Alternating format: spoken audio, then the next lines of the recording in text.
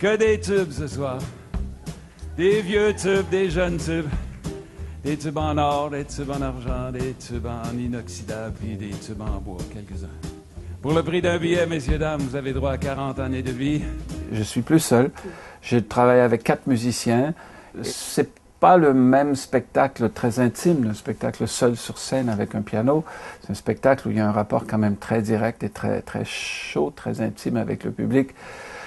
Le spectacle reste quand même assez intime parce que c'est quand même moi, on se regarde les yeux dans les yeux.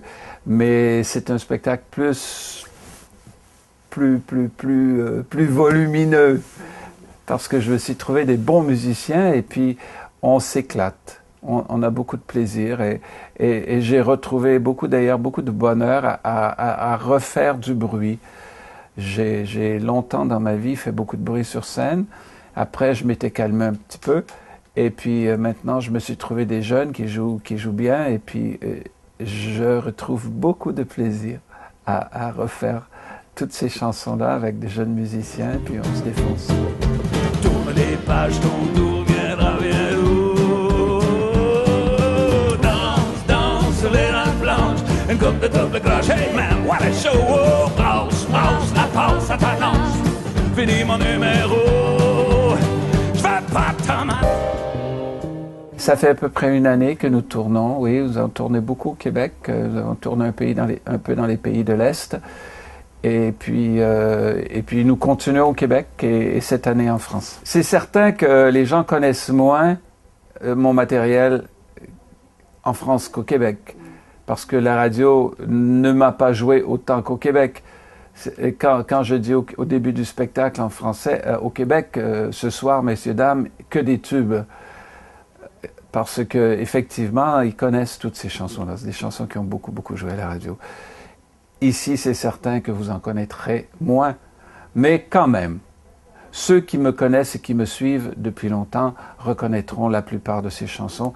Et, en plus, euh, j'ai fait la petite fleur à savoir, j'ai chanté deux chansons de Notre-Dame de Paris, qui quand même a été assez important dans ma vie péché, mon obsession, désir fou qui me tourmente, qui me tourne en dérision, qui me déchire et me petite marchande d'illusions. Je ne vis que dans l'attente de voir voler ton jupon et que tu chantes et tu chantes, tu vas me détruire, tu vas me détruire et je vais te maudire jusqu'à la fin de ma vie. C'est pas que j'ai pas de plaisir à chanter les chansons Notre-Dame de Paris parce que ça a été quand même une époque très importante pour moi. Et puis j'ai vécu quelque chose de très intense avec, euh, avec une équipe euh, merveilleuse, c'est-à-dire Garo, Patrick, euh, Hélène, Julie et tous les autres.